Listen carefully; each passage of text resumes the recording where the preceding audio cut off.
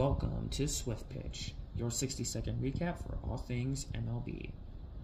Corbin Burnes becomes yet another pitcher to voice his concerns with the pitch clock, stating, and I quote, I think we have a real problem.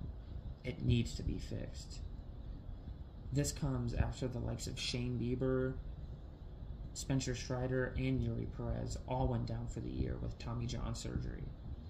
The Players Union has tried citing the pitch clock as the main cause for these injuries, while the MLB continues to cite increased pitch velocities and spin rates as the main culprit. Some news out of the Shohei Ohtani camp, though, as it has been revealed that his former interpreter, Ippei Mizuhara, will be brought with federal charges for allegedly stealing $4.5 million from Shohei Ohtani.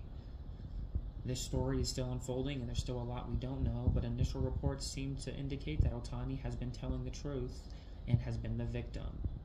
Make sure to check in tomorrow night for more MLB news.